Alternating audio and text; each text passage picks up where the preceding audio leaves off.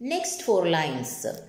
Through primrose tufts and the green bower, the periwinkle trailed its wreaths, and my faith that every flower enjoys a air that breathes. അടുത്ത നാല് ലൈൻസിൽ പറയുന്നത് പ്രകൃതിയുടെ കുറേ കാര്യങ്ങളാണ് അതായത് പൂക്കളെ പറ്റിയിട്ട് പറയുന്നുണ്ട് പ്രിം റോസ് എന്ന് പറഞ്ഞാൽ വൈൽഡ് ഫ്ലവറാണ് ഒരു കാട്ടുപൂവാണ് ഗ്രീൻ ബവർ എന്ന് പറഞ്ഞു കഴിഞ്ഞാൽ പ്രകൃതിയിലെ വല്ല പച്ച പുല്ലിൽ വളരുന്നത് അല്ലേ? പച്ച ബാക്ക്ഗ്രൗണ്ട് എന്നാണ് അതിന്റെ അർത്ഥം.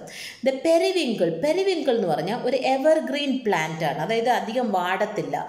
എവർ ഗ്രീൻ പ്ലാന്റ് എപ്പോഴും പച്ചയായിട്ടിരിക്കുന്ന ഒരു പ്ലാന്റ് ആണ് കേട്ടോ. വിത്ത് ബ്ലൂ സ്മോൾ ഫ്ലവേഴ്സ് അതിൽ ചെറിയ നീല കളറുള്ള ചെറിയ ചെറിയ പൂക്കളൊക്കെ വരും. അതാണ് പെരിവിങ്കിൾ എന്ന് പറയുന്ന ഒരു ചെടി. Okay and it is my faith that every flower അദ്ദേഹം ഫെയ്ത്ത് എന്ന് പറഞ്ഞ വിധി അതായത് അദ്ദേഹം മനസ്സിൽ വിചാരിക്കുകയാണ് എന്താണ്?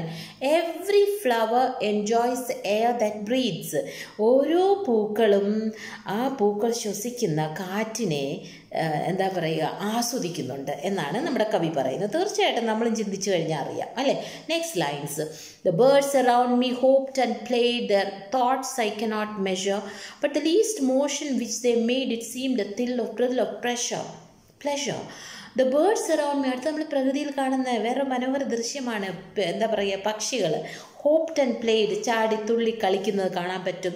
അവരുടെ മനസ്സിലെ വികാരങ്ങൾ വിചാരങ്ങൾ എന്താണ് എന്ന് എനിക്ക് അളക്കാൻ കഴിയുന്നില്ല. എനിക്കെന്ന് വെച്ചാൽ കവിക്ക് അളക്കാൻ കഴിയുന്നില്ല. പക്ഷേ കവിക്ക് ഒരു കാര്യം പറയാം. The least motion they made motion എന്ന് പറഞ്ഞാൽ ഇവിടെ മൂവ്മെന്റ് ആണ്. ഓരോ ചലനങ്ങൾ പ്രകൃതി നമ്മുടെ പക്ഷികൾ ഉണ്ടാക്കുന്ന ചലനങ്ങൾ അദ്ദേഹത്തിന്റെ മനസ്സിൽ കൊണ്ടുവരുന്ന ഒരു വികാരം വിചാരം എന്ന് പറഞ്ഞു കഴിഞ്ഞാൽ it's seen the thrill of pleasure pleasure എന്ന് വെച്ചാൽ സന്തോഷം. ഓക്കെ മനസ്സിന് സന്തോഷം കൊടുക്കുന്നത് തന്നെയാണ് എന്നാണ് കവി പറയുന്നത്.